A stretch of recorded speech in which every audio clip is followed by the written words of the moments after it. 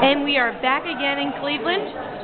On behalf of Rudi's Gluten Free, I have another fan. She's going to tell you what she thinks of Rudi's. Here we go. Hi, what's your name? Hi, my name is Mary. Hi, Mary. Tell us what you think of Rudi's. Well, after tasting everything around here today in this place, yours, Rudi's, is the most regular bread-like of anything I've tasted. You'd never know that it was gluten-free. It's absolutely delicious.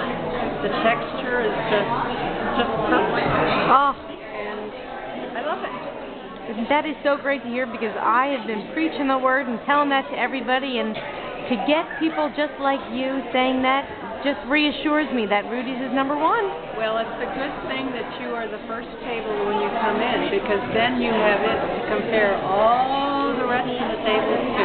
That's right. come back and say, this is it. Oh, well, thank you, Mary. Have yourself another slice. And there we go again, folks. Rudi's gluten free all the way out in Cleveland. I'm telling you, you just can't beat it. See you later. Have a good day.